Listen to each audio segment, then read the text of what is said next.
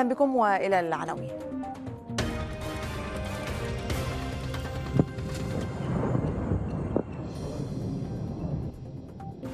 طائرة الاحتلال تستهدف مواقع المقاومة في غزة ليلا. ماكرون يقول إن العالم مضطر للتحدث إلى الرئيس الأسد في مرحلة ما بعد داعش.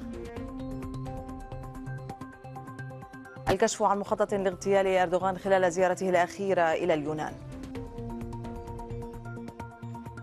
الثامن عشر من كانون الأول ديسمبر اليوم العالمي للغة الضاد. استهدفت طائرات الاحتلال الإسرائيلي موقعي عسقلان والبحرية التابعين لكتائب القسام في منطقة الواحة شمال غرب قطاع غزة وفق مراسلنا. وسائل إعلام إسرائيلية ذكرت أن سفارات الإنذار دوت في ساحل عسقلان وأن صاروخين أطلقا من غزة نحو حوف أشكالون وانفجرا في أراضي القطاع.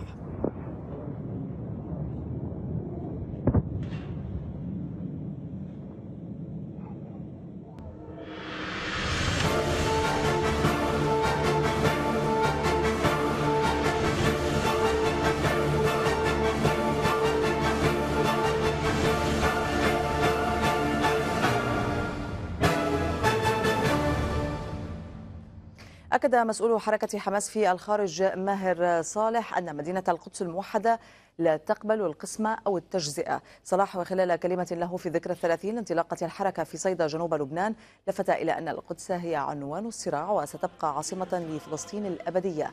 وشدد على أن قرار ترامب بشأنها لن يغير من حقائق التاريخ والجغرافيا. لقد جاء إعلان الرئيس الأمريكي ترامب في وقت ظن فيه أن الأمة قد تمزقت وماتت أو أوشكت وأن الشعوب قد انشغلت بنفسها وبقضاياها المحلية الصعبة.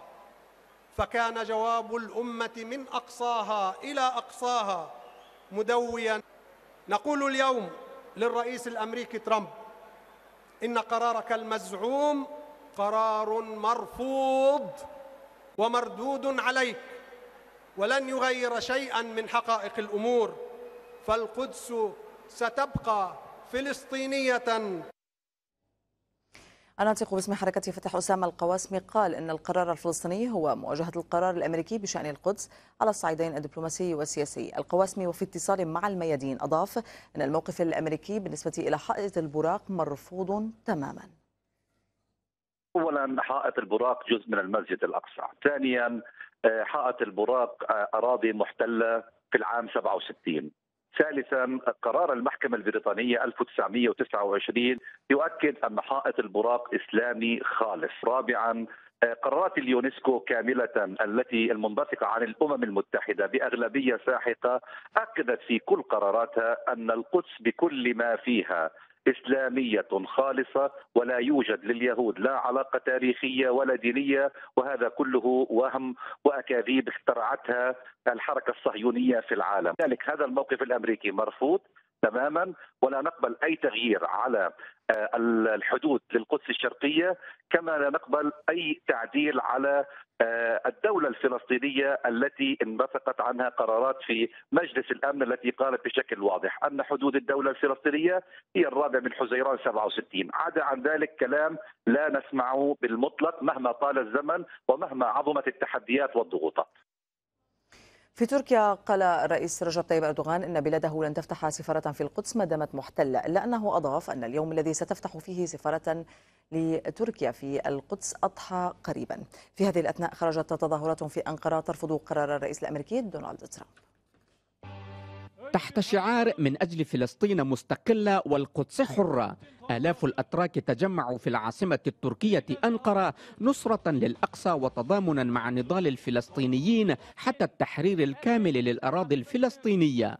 النقابات العمالية ومؤسسات المجتمع المدني نظمت وقفة احتجاجية للتنديد بقرار الرئيس الأمريكي بشأن القدس. المتظاهرون رفعوا شعارات تؤكد أن القدس عاصمة فلسطين الأبدية. القدس تبقى مدينة إسلامية وهي عاصمة لدولة فلسطين ولن يغير القرار الأمريكي من الواقع التاريخي أو الديمغرافي للمدينة هذا القرار بالنسبة لنا كمسلمين باطل ولا أساس له ونحن لن نهدأ حتى يتراجع ترامب عن قراره الأخير ميادين المدن التركية وساحاتها تشهد حراكا داعما لمقاومة المحتل الإسرائيلي وسط دعوات إلى سرعة التحرك على المستويين الرسمي والشعبي حتى لا تضيع القدس. الموقف الرسمي التركي بخصوص تطورات القدس يتماشى مع الحراك الشعبي. يقول الرئيس رجب طيب أردوغان في آخر تصريح له إن ممارسات الاحتلال الإسرائيلي بحق أطفال فلسطين يجب أن تحرك الضمير الإنساني. نحن لم نبادر إلى إقامة السفارة في القدس لأن المدينة تحت الاحتلال والآن الجميع اعترف بأن القدس الشرقية هي عاصمة فلسطين ولدينا قنصلية هناك منذ وقت مبكر وفي القريب العاجل سنفتح سفارة جمهورية تركيا في القدس الشرقية. لليوم الحادي عشر على التوالي مسيرات ومظاهرات غاضبة بشكل متواصل في المدن التركية لتؤكد أن الشارع التركي يرفض اعتبار القدس عاصمة إسرائيل وسط تصعيد واضح في لهجة المسؤولين تجاه إسرائيل والولايات المتحدة الأمريكية. محمود واثق تركيا الميادين. أضرمت مجموعة من المحتجين الفلسطينيين النار في ملصقات عليها صور لمايك بينس أمام مكان ميلاد السيد المسيح وذلك قبيل زيارته للمنطقة. وكتب على بعض هذه الملصقات بيت لحم ترحب برسل السلام وليس برسل الحرب. وعلى ترامب ونائبه أن يعلموا بأن الشعب الفلسطيني صامد حتى الهوى إلنا تصوت اللجنة الوزارية لشؤون التشريع الإسرائيلية على اقتراح قانون يشدد العقوبات على منفذي العمليات الفلسطينية ويضيف الاقتراح عقوبة الإبعاد أو النفي لمنفذي العمليات كما تحدثت وسائل إعلام إسرائيلية عن درس إمكانية احتجاز جثامين منفذي العمليات وذلك لأهداف تفاوضية.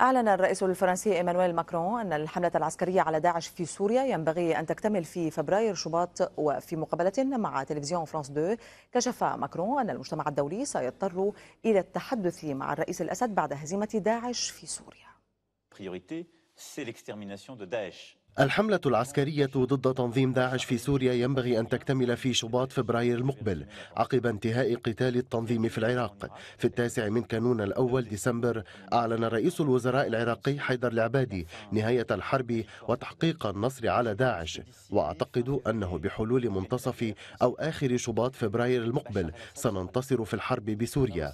فرنسا تؤيد الآن إجراء محادثات سلام تشمل كل أطراف الصراع السوري بما في ذلك الرئيس بشار الأسد. عشرات الاقتصاديين من سوريا ولبنان ومصر ناقشوا وضع رؤية اقتصادية سورية شاملة لمرحلة ما بعد الحرب. أكثر من ثلاثين بحثا وورقة عمل نوقشت في إطار رسم نموذج اقتصادي لإعادة الأعمار. محمد الخضر. تضع الحرب أوزارها أو تكاد في سوريا. فرصة تتسع لدوران عجلة الإنتاج في قطاعات أتت عليها الحرب تدميرا وحرقا ونهبا. جهود حكومية أو فردية حتى الآن توازيها مبادرات أكاديمية في إطار وضع رؤية اقتصادية شاملة ضمن مؤتمر نظمه تجمع سوريا الأم بالتعاون مع جامعة دمشق. أعددنا لهذه الفعالية وفي هدف من وراها. الهدف موجود بعنوانها اللي هو إيجاد رؤية اقتصادية مستقبلية بما يتعلق بالاقتصاد السوري. عشرات الاقتصاديين من سوريا ولبنان ومصر قدموا أوراق عمل وأبحاثا متخصصة في عناوين متعددة أبرزها خسائر الاقتصاد السوري خلال الأزمة وتأثيرات العقوبات الاقتصادية والسياسة الاقتصادية على العدالة الاجتماعية. الاطلاع اولا على التجارب في الخارج على وضع الاقتصاد العالمي على آه، المركز سوريا الاقتصادي في المستقبل ضمن الوضع الاقتصادي العالمي ال- وأيضا البحث في آه، نموذج آه، لسوريا آه، تؤمن مصالح كل الفئات الاجتماعية وكل المناطق. لم تغب تجارب دول أخرى عاشت الحروب بمختلف أشكالها عن هذا المؤتمر بحيث دعا أكاديميون إلى الاستفادة من تلك التجارب لوضع مناهج وخطط تنفيذية أكثر فعالية. هلا في تجارب كثيره باعاده الاعمار مثلا تجربة العراق لبنان يوغوسلافيا تجارب ليست ناجحة. طيب نحن فينا هذه التجارب نشرحها ونحللها ونشوف وليش ما نجحت؟ بحيث نحن نبدأ من حيث انتهى الآخرين وبحيث نحن ننجح وتكون واضحة الرؤية أمامنا وعندنا منهجية واضحة لعملية إعادة البناء والإعمار ما بعد الحرب فهذا كثير مهم. تحويل تلك الأفكار والبرامج النظرية إلى خطط عمل تنفيذية يتطلب مشاركة مؤسسات حكومية في هذه المؤتمرات. مشاركة تنطلق من أن إعادة الإعمار جهد وطني كبير يتسع لمشاركة الجميع. ملامح الخروج من الأزمة تفرض على الاقتصاديين وضع رؤية شاملة للنهوض بالاقتصاد السوري. عمل كبير يتطلب جهود الجميع في إعادة الإعمار ونفض غبار الحرب المدمرة. محمد الخضر من قاعة المؤتمرات في جامعة دمشق. الميادين. أعلن قائد عمليات الحشد الشعبي لمحوري غرب الأنبار أن الحشد يسعى إلى السيطرة على جميع المناطق الحدودية الغربية بالتعاون مع قيادة حرس الحدود العراقية. وقد استطلع الحشد الشعبي وقيادة حرس الحدود مساحات واسعة من الحدود العراقية السورية وذلك بهدف إنشاء مخافر حدودية وتحصينها أمنياً. رؤية العراق لعام 2030 مشروع عمل وضعت مواده أمام الجهات المعنية لترجمتها على أرض الواقع. لكن النجاح متوقف على مستقبل محفوف بالاستقرار السياسي والأمني والاقتصادي. محمد الفهد والتفاصيل. رؤية العراق لعام 2030 وضعت الخطوط العريضة لمستقبل البلاد على مختلف الأصعدة. هذه الخارطة العملية وضعتها مجموعة من الخبراء على مستوى المال والاقتصاد والتخطيط والأمن وبرعاية حكومية على أن تبقى حتى في حال تغير الحكومات لتحقيق التنمية المستدامة والسلم المجتمعي وتكافؤ الفرص وإعادة الإعمار استنادا إلى ما يمتلكه العراق من ثروات. أوراق سياسات الرؤية العراقية لعام 2030 مناقشة مسوداتها اللي تتعلق بمحاور الطاقة يعني الكهرباء والنفط والغاز وأيضا البنى التحتية والضمان الاجتماعي والنازحين والمهجرين والمرأة. صورة نحلم بها من قبل 20 سنة وراح نبقى نحلم بها بس طورناها. عراق آمن مستقر موحد مجتمع متماسك فاعل مؤدي قطاع خاص آه، فاعل. الحضور الدولي كان بارزا عبر عدد من الخبراء الأجانب إضافة إلى البنك الدولي الذي عزز رغبة العراقيين في استعداده لتقديم القروض والضمانات المالية لتطبيق ما جرى طرحه شريطة توافر الأرضية المناسبة لذلك وأهمها الاستقرار السياسي والأمني. البنك يقوم بدعم العراق في مجالات الاستقرار المالي والاقتصادي بالعمل على آه، على التأكد من أن هناك الموارد المالية اللازمة لتحقيق هذه التطلعات. Um, I think أعتقد أنه بعد اكتمال خطة ال 2030 أن دورنا سيكون مساعدة الحكومة على التعامل مع التحديات. ويتطلع العراقيون إلى غد أفضل بعد أكثر من عقد ونصف العقد على أزمات سياسية واقتصادية وأمنية لازمت تجربته السياسية بعد العام 2003 وألقت بظلالها السلبية على مختلف القطاعات. مسارات العمل الحكومي وضعت خطوطها العريضة لرسم المستقبل. الإمكانات المالية حاضرة إضافة إلى خارطة الطريق نحو التنمية الشاملة بانتظار التطبيق على أرض الواقع في العقد المقبل من تاريخ العراق. محمد الفهد بغداد الميادين. فاصل قصير وسنعود.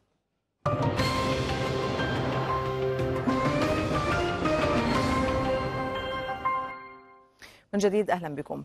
كشفت السلطات اليونانية عن افشالها مخططا لاغتيال الرئيس التركي رجب طيب أردوغان خلال زيارته الأخيرة إلى اليونان، وألقت القبض على تسعة أشخاص ينتمون إلى جبهة حزب التحرير الشعبي الثوري.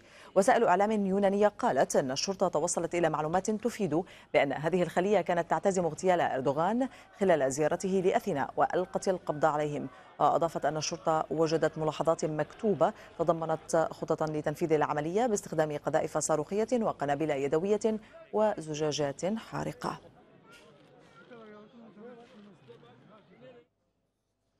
أعلن قائد الجيش الليبي المشير خليفة حفتر أن انتهاء صلاحية اتفاق الصخيرات يعني فقدان كل المؤسسات المنبثقة عنه بصورة تلقائية. وحفتر رفض في كلمة له خضوع الجيش الوطني لأي جهة غير منتخبة مؤكدا أن الوضع يشهد مؤشرات دخول ليبيا مرحلة خطرة نتعهد للشعب الليبي بأننا ملتزمون بحمايته والدفاع عنه وعن مقدراته ومؤسساته وحتى آخر جندي في صفوفنا كما نعلن رفضنا القاطع لخضوع الجيش الوطني الليبي. إلى أي جهة مهما كان مصدر شرعيتها. ما لم تكن منتخبة من الشعب الليبي حفاظا على كياننا ووحدته. دعت مفوضية السلم والأمن في الاتحاد الأفريقي الدول الأفريقية الاستعداد لمواجهة خطر داعش. وقال المفوض إسماعيل شرقي قال أن الدول التي تعاني من عدم الاستقرار استقرار سياسي واجتماعي هي المهددة بقوة. داعش على أبواب القارة السمراء. مفوض الأمن والسلم في الاتحاد الإفريقي إسماعيل شرقي أعلن أن نحو ستة آلاف مقاتل ممن تحصيهم تقارير أممية يستعدون للتوجه إلى إفريقيا. منهم من يخطط للعودة إلى بلاده ومنهم من يواصل النشاط في صفوف التنظيم الإرهابي الباحث عن بؤر جديدة للتوتر. إذا لما نقول أن 6000 هم 6000 الذين ذهبوا إلى الشرق الأوسط. هل سيعودون كلهم أم بعضهم؟ لكن هؤلاء الناس تدربوا على الأسلحة. عندهم عندهم اعتقاد قوي فيما فيما يقومون به من إجرام.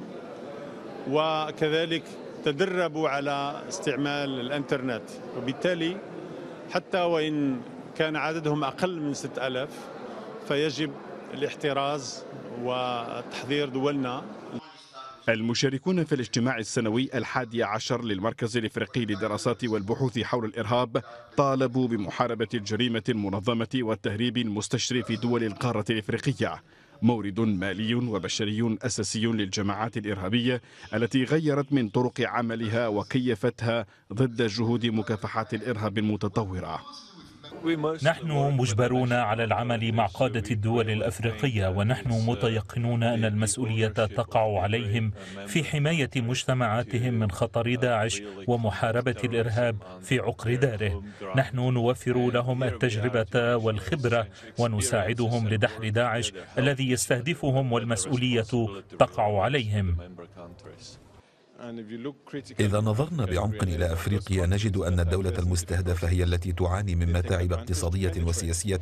أعتقد أن الطريقة الأنجع للتمكن من محاربة الإرهاب هي ضمان الاستقرار كما يجب إعطاء فرصة للشباب وحمايتهم من التطرف. تشير إحصائيات ودراسات إلى أن العائدين من التنظيمات الإرهابية وعلى رأسها داعش يعتزمون التوغل في دول صنفتها إسرائيل ضمن نفوذها التاريخي والهدف بحسب دراسات إعادة السيطرة بعد هزيمتها في سوريا والعراق. تكثف إذا الجزائر اجتماعاتها التنسيقية مع الشركاء الأفارقة لدحر خطر الإرهاب وخطر داعش تحديدا الذي يقف على أعتاب القارة السمراء. أرقام تتحدث عن قرابة ستة آلاف مقاتل ينوون العودة إلى أوطانهم الأصلية والتوجه إلى دول تشهد عدم استقرار في القارة الإفريقية. أسامة عبد النور عاصمة الجزائرية الميادين. اليوم الثامن عشر من كانون الأول ديسمبر هو اليوم العالمي للغة للغة العربية. الأمم المتحدة أقرته عام 1973 عندما أصدرت الجمعية العامة قرارا اعتمد اللغة العربية لغة رسمية في كل مؤسسات المنظمة الدولية الميادين تتمسك بلغة الضاد وتحرص عليها في كل موادها الإعلامية. نظرة على ظروف هذا اليوم العالمي وعلى أهمية اللغة العربية. ضوء. الثامن عشر من كانون الأول ديسمبر هو اليوم العالمي للغة العربية. الأمم المتحدة أقرت هذا اليوم تذكيرا بالثامن عشر من كانون الأول عام 73 من القرن الماضي عندما اتخذت الجمعية العامة القرار 3190 هذا القرار. اعتمد اللغة العربية لغة رسمية في الأمم المتحدة إلى جانب خمس لغات هي الإنجليزية والفرنسية والروسية. والصينية والإسبانية وهي كلها لا تقارن بثراء العربية في المفردات التي تتجاوز 12 مليونا بينما اللغات المذكورة لا تقارب مفردات كل منها المليون. ما يؤكد مقولة الكاتب الألماني جوستاف فريتاك بأن اللغة العربية هي أغنى لغات العالم.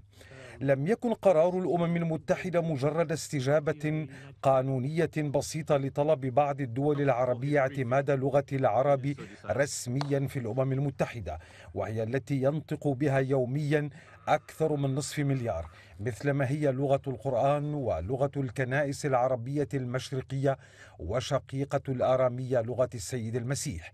بل كان هذا القرار ثمرة معركة افتتحها الرئيس الراحل جمال عبد الناصر عام 1960 فكان أول رئيس عربي يخاطب المجتمع الدولي معتزا بلغته القومية. ثم كان الرئيس الجزائري الراحل هواري بومدين أول رئيس عربي يخطب في الأمم بالعربية بعد القرار المذكور.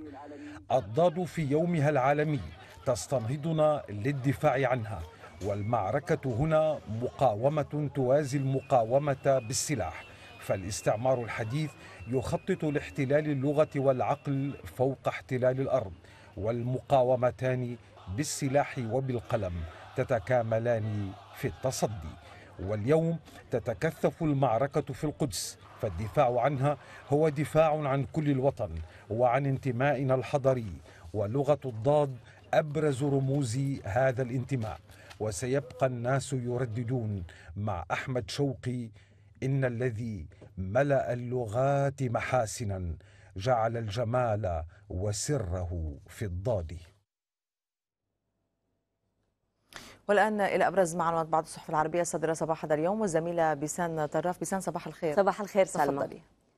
صباح الخير مشاهدينا نبدأ جولتنا بأبرز ما عنونته صحيفة الأهرام المصرية. في العنوان الأول مجلس الأمن يناقش مشروع قرار مصريا للرد على القرار الأمريكي. مستوطنون متطرفون يقتحمون الأقصى وفتح تدعو لمظاهرات ضد زيارة بنس. إلى صحيفة الحياة السعودية واخترنا من أبرز عناوينها ترامب يرفع مستوى التشدد مع إيران ويصنف روسيا والصين عدوين يكشف اليوم استراتيجيته للسلام من خلال القوة حفتر يمهد للسيطرة على الحكم بإعلانه بطلان حكومة السراج أطلق رصاصة الرحمة على اتفاق السخيرات. عباس لتحويل خطابه في إسطنبول إلى قرارات. مجلس الأمن يناقش اليوم إبطال أي تغيير في وضع القدس. إلى صحيفة الشروق التونسية في العنوان الأول نور الدين الطبوبي يؤكد لن نترك الاتحاد للفوضى ولن نقبل باختراقه. سيدي بوزيد في الذكرى السابعة للثورة احتفالات احتجاجات وإيقافات. في ليبيا حفتر يعلن انتهاء الاتفاق السياسي. إلى صحيفة الاتحاد اللبنانية في العنوان الأول المشنوق للاتحاد. لهذا السبب قتلت الموظفة البريطانية بري يرفض عزل القوات وخطة أمنية تنطلق هذا الأسبوع. ماكرون يجب التحدث إلى الأسد. وأيضا عنونت هذه الصحيفة القدس في مجلس الأمن اليوم. إلى صحيفة الدستور الأردنية الشمعدان اليهودي فوق المسجد الإبراهيمي لأول مرة منذ احتلال الخليل عام 1967 أما صحيفة الثورة اليمنية فجاء في أبرز عناوينها انتقام العاجز العدوان السعودي استهدف تجمعا نسويا في حفل زفاف بمأرب. مصرع وإصابة 130 وثلاثين مرتزقا في عسيلان وبيحان بشبوة تدمير أربع آليات تابعة للعملاء بتعز ودك تجمعاتهم في لحج. زلزال واحد يعصف بمرتزقة العدوان في نهم. إلى صحيفة الوطن السورية واخترنا من أبرز عناوينها الجيش يتقدم بريف العاصمة ويصد الإرهابيين في حمص وحماة. نواب الشعب طلبوا وزير الدفاع بزيادة دعم أفراده وجرحاه وذوي شهدائه. الفلسطينيون الغاضبون مستمرون في تحركاتهم. مجلس الأمن يصوت اليوم على إبطال قرار ترامب والنمسا تتجه للاعتراف بإسرائيل دولة يهودية. مع هذا العنوان نختم جولتنا. شكرا للمتابعة. نعود إليك سلمى. بيسان شكرا جزيلا. إلى العناوين.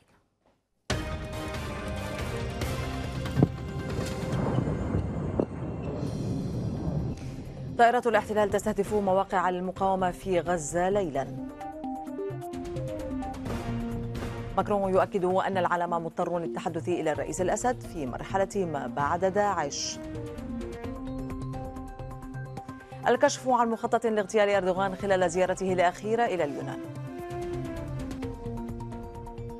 الثامن عشر من كانون الأول ديسمبر اليوم العالمي للغة الضاد والمزيد من الأخبار زوروا موقع الميادين على الإنترنت الميادين دوت نت ولمتابعينا باللغة الإسبانية اسبانول دوت الميادين دوت نت. إلى اللقاء.